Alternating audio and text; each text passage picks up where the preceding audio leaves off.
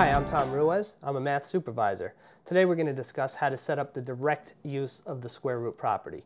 Now sometimes our equations are set up in a way that we already have direct use of the square root property able to be uh, able to go, ready, ready for our use. So p minus 2 squared equals 16. In this case, the direct use is set up for us because we have a perfect square on this side and we have a perfect square on this side. So what you do is you take the square root of both sides of the equation. p minus 2 squared, how do we get that? Uh, what times itself gives us p minus 2 squared? Just p minus 2. That's going to equal what times itself gives us 16? 4. Now we can solve the rest of the problem by using inverse operations.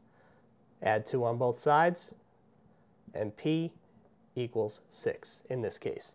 However, sometimes we need to set up direct use of the square root property. Um, sometimes it's not ready for immediate use. This is one of those cases. In this case, we have a perfect square here, but we have this extra minus 1 piece here. That means we are not ready to do the square root property yet. In order for us to be able to do this, we have to get this minus 1 onto the other side, away from this perfect square. By doing that, inverse operation, we add 1, on both sides of our equation, and we are left with 5m plus 1 squared equals 9. Now we have a perfect square on our left, we have a perfect square on our right, and we are ready for the square root property. I'm Tom Ruiz. You do the math.